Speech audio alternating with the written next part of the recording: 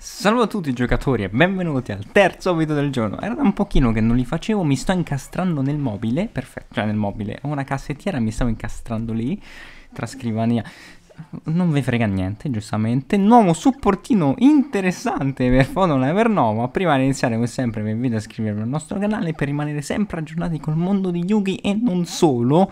Prendiamolo anche come pretesto per un video per domani mattina, anche se credo che uno al volo lo porterò perché teoricamente mi dovrebbe arrivare Crystal Beast, ma come sempre non so se mi arriva domani, teoricamente dovrebbe arrivare domani pomeriggio, ma non si sa mai, quindi... Mm. Allora, eh, First Tiger Meng Hu.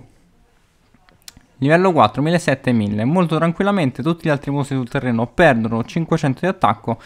Una volta durante la main phase possiamo spaccare tutti i mostri con l'attacco inferiore a questa carta.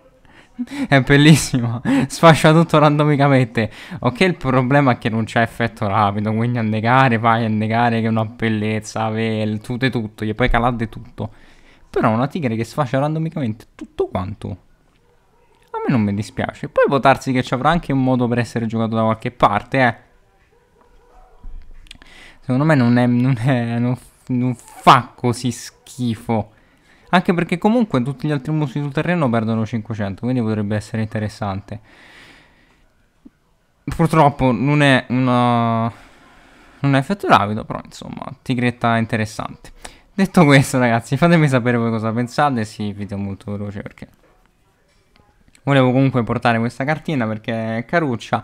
Detto questo, fatemi sapere voi cosa pensate. Noi come sempre ci vediamo nel prossimo video e un saluto a tutti.